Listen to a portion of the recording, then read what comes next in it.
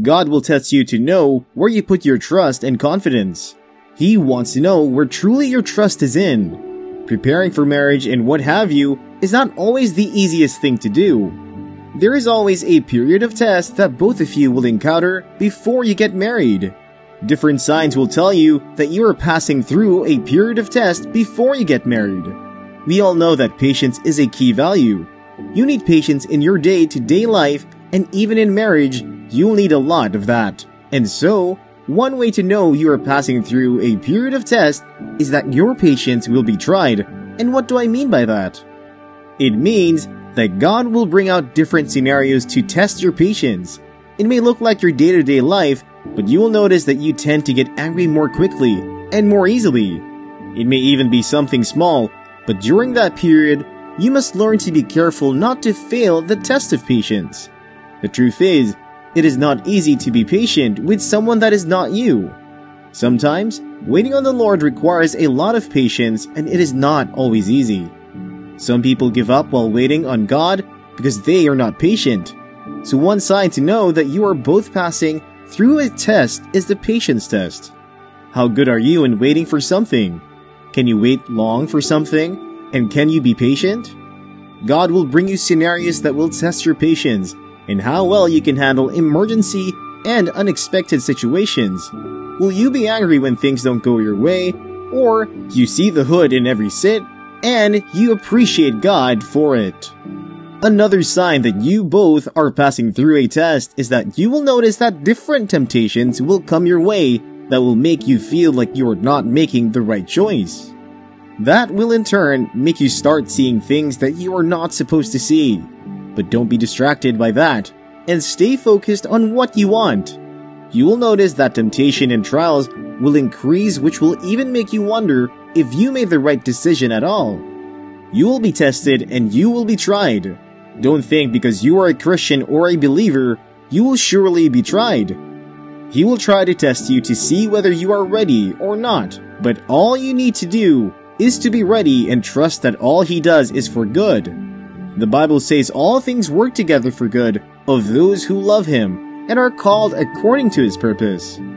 The Bible says, Trust in the Lord and lean not on your own understanding, rather in all your ways acknowledge him, and he will make your path straight. Another sign you may encounter is that of your integrity. Every child of God has a lever of integrity that is expected from him or her. If you are a child of God, the Lord will test your integrity. Are you an honest and just person, or do you just bear the name Christian? You may likely encounter the test of your trust in God. One major way to know if God is testing you is when He tests your trust. Just like Job in the Bible, God gave him up to the devil for a while to be tested, to know if truly he trusts in God or not.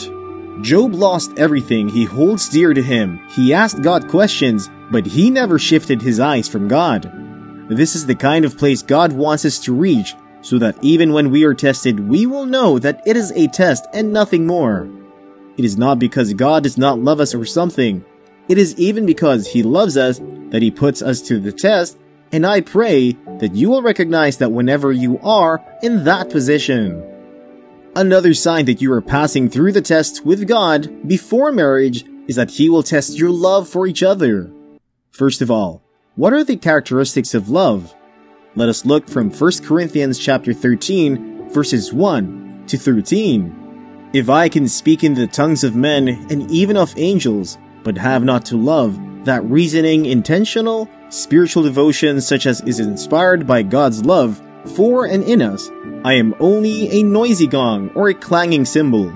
And if I have prophetic powers, the gift of interpreting the divine will and purpose, and understand all the secret truths and mysteries, and possess all knowledge, and if I have sufficient faith so that I can remove mountains, but have not to love God's love in me, I am nothing, a useless nobody.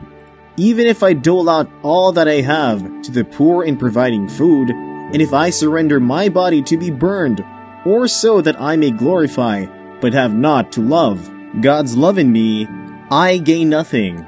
Love endures long and is patient and kind. Love never is envious nor boils over with jealousy, is not boastful or vainglorious, does not display itself hoidily. It is not conceited, arrogant, and inflated with pride. It is not rude, unmannerly, does not act unbecomingly. Love, God's love in us, does not insist on its rights or its way, for it is not self-seeking. It is not touchy or fretful or resentful. It takes no account of the evil done to it. It pays no attention to a suffered wrong. It does not rejoice at injustice and unrighteousness, but rejoices when right and truth prevail. Love bears up under anything and everything that comes is ever ready to believe the best of every person. Its hopes are faithless under all circumstances and it endures everything without weakening. Love never fails, never fades out or becomes obsolete or comes to an end. As for prophecy, the gift of interpreting the divine will and purpose, it will be fulfilled and pass away. As for tongues, they will be destroyed and cease.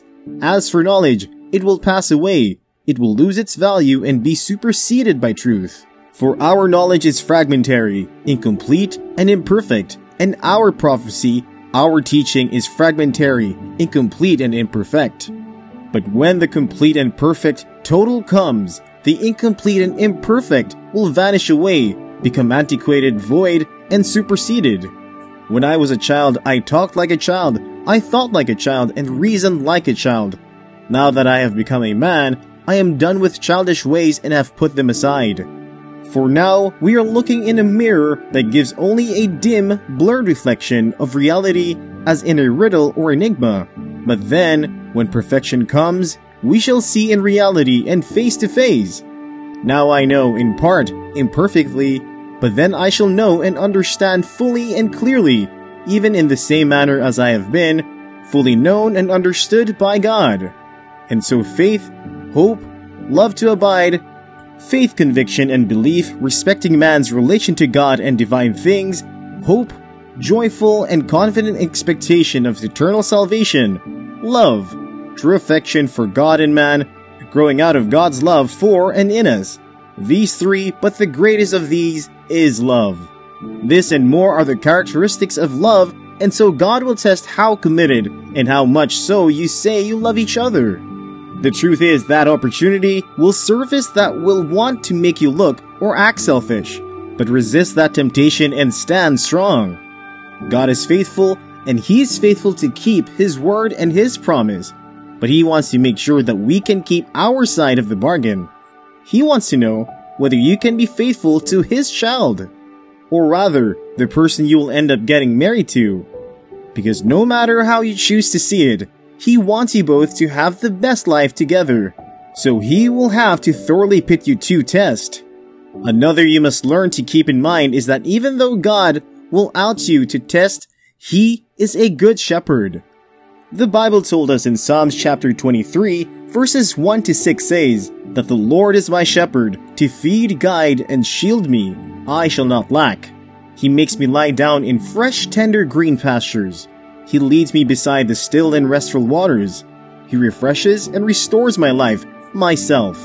He leads me in the paths of righteousness, uprightness, and right standing with Him, not for my earning, but for His name's sakes. Yes, though I walk through the deep sunless valley of the shadow of death, I will fear or dread no evil, for you are with me. Your rod to protect and your staff to guide, they comfort me. You prepare a table before me in the presence of my enemies. You anoint my head with oil. My bringing cup runs over. Truly, or only goodness, mercy, and unfailing love shall follow me all the days of my life, and through the length of my days, the house of the Lord and his presence shall be my dwelling place.